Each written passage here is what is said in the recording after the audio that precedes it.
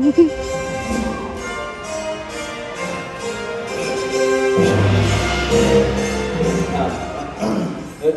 ye, hear ye. Welcome one and all to the Governor's Gala here in Treasure Bay.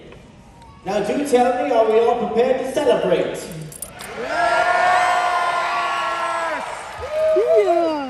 That was terrible, people. Come on, this is for royalty, so let's try this again. I said, are we all prepared to celebrate?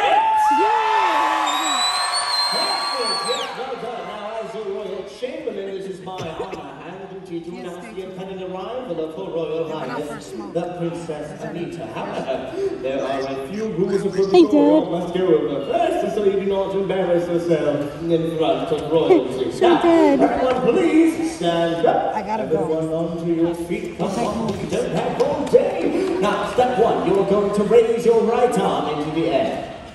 Is that us? Everyone. Step two, you're going to shake it like you Stay just don't don't care.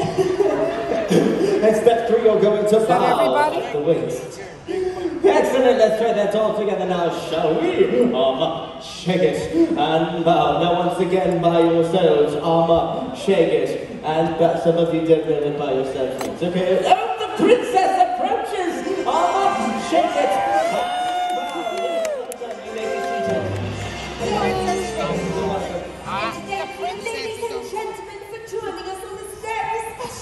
occasion. Tonight marks 10 years since the exile of the most notorious pirate to ever attack our shores. His name is Captain Sebastian the Black. And how Cap is captured pirate here in our bay. Oh, I can only wonder at the atrocities these pirates committed against our citizens. Our chamberlain, my duty was for security and I believe is up to standard. Oh, absolutely, Your Highness. Nothing could possibly ruin this glorious occasion. Reports of a very mysterious vessel off the coast. well, surely they can't be pirates. Always be vigilant. Yes. The risk everything